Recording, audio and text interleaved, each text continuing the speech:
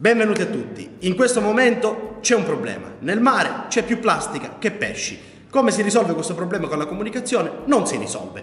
Però la comunicazione può servire a pubblicizzare e a sensibilizzare le persone verso un argomento così delicato che è quello del rispetto del nostro pianeta.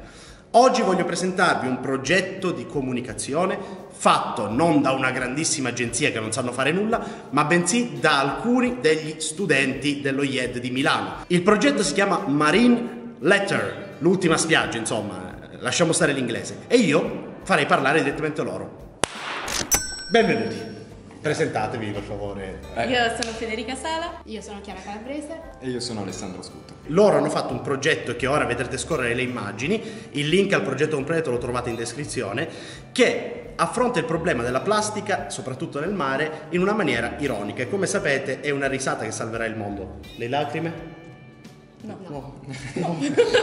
Hanno praticamente fatto questo progetto dove si ipotizzano delle creature marine dei prossimi 50 anni fuse totalmente con la plastica, quindi la plastica prende il controllo del mare fino a diventarne il reale abitante. Voi avete costruito delle nuove specie animali, come vi è venuta questa idea qui? Beh, siamo partiti da quello che era il dato, che nel 2050, ma anche oggi, i rifiuti sarebbero stati più presenti nel mare rispetto che i pesci e quindi abbiamo pensato perché non facciamo diventare i pesci rifiuti? Quindi abbiamo dato vita a queste nostre specie marine. Ce ne dici qualcuna? Allora. C'è la Tampaci sepia. Che vedete passare in questo momento. Sì, fatta da? Fatta da um, assorbenti. Eh, assorbenti eh, interni. Tampax, interni. Esatto, c'è differenza. Poi?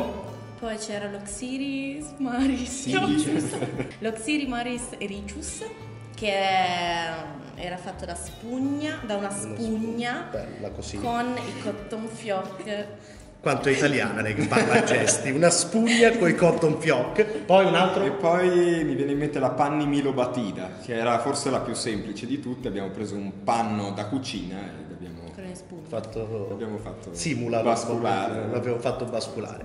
Allora, la cosa bella è che voi avete pensato a questo progetto per un target di persone ampissimo, ma soprattutto la cosa che mi fa impazzire è che ti tiene incollato intrattenendoti e solo alla fine ti fa riflettere. Voi avete non solo inventato questi animali e poi però come l'avete declinato, perché non avete solo costruito i mostriciattoli, chiamiamoli così, cosa avete fatto? Abbiamo creato 10 spot che erano dei mini documentari, quindi riprendendo quelli che sono i documentari poi abbiamo fatto le tre campagne stampa, quindi tre affissioni.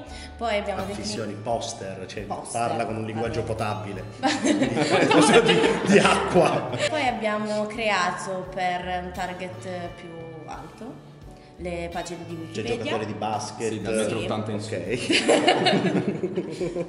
Mentre per il target più basso, per i bambini abbiamo creato le, l'album delle figurine. Quindi abbiamo reso queste cose collezionabili. Però voi avete fatto un'altra genialata che vi state dimenticando e vi ricordo che il link al progetto completo lo trovate qui nella descrizione del video, facciamo il gesto. Hanno anche fatto una sponsorizzazione, chiamiamola così, con i negozi di elettronica, facendo passare, sapete, nei reparti TV dove ci sono tutte le TV dove puntualmente i mariti si bloccano mentre le mogli guardano le lavatrici, facendo passare i loro micro documentari che raccontano la specie marina. Vedete i video qui in questo momento. Certo, quei video hanno una pecca, io ve lo devo dire. Cioè, la voce fuori campo. Io non so chi sia stato a fare quella voce, è brutta, è proprio brutta. È l'unica, poi il progetto è per me. L'Oxili Maris Ericius presenta aculei molto appuntiti, armi di difesa per le prede affamate. Il 4,5% dei rifiuti in mare è costituito da cotton fioc. Aiutaci a tenerlo pulito. No, però questo è un, secondo me un progetto di comunicazione con cui voi avete anche vinto un premio, giusto? Tre. Ne abbiamo vinti tre.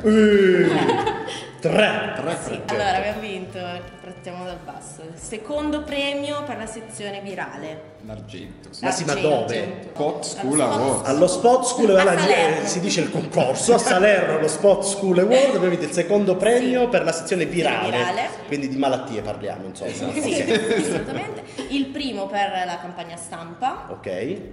L'affissione il poster, poster quello che si attacca con la scopa.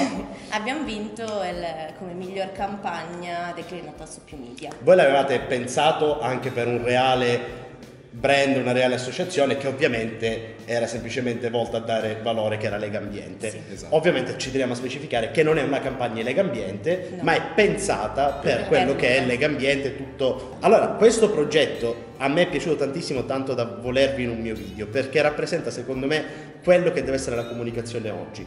Una creatività che non esplode ma viene gestita, avete inventato dei nomi, avete inventato un concetto, siete andati a fare una ricerca, ma soprattutto avete preso la stessa storia e siete riusciti a declinarla su un mare di mezzi, dal poster Dal post. al microdocumentario, addirittura a creare delle pagine Wikipedia Sì, dedicate esatto. e secondo me oggi, e qui lo dico non vi gasate perché ancora ne dovete sucare di latte come si dice dalle mie parti, però avete fatto un progetto degno delle migliori agenzie di comunicazione che secondo me meriterebbe molto di più.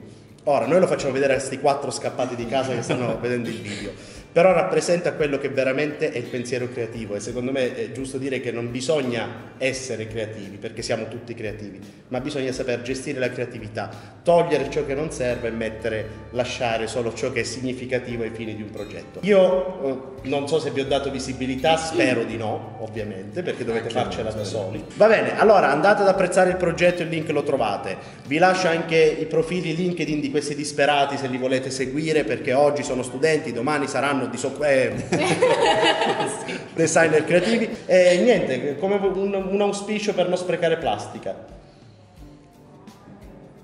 Non usatela. Fatevi fare le corna.